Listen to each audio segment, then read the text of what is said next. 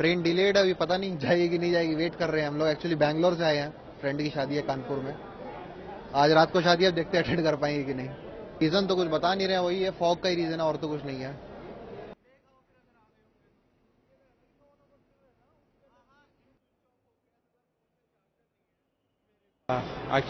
Uh, tra- traveling from Dubai to Chandigarh. Uh, it's a connection flight, so my flight is actually from uh, Delhi to Chandigarh 7:20.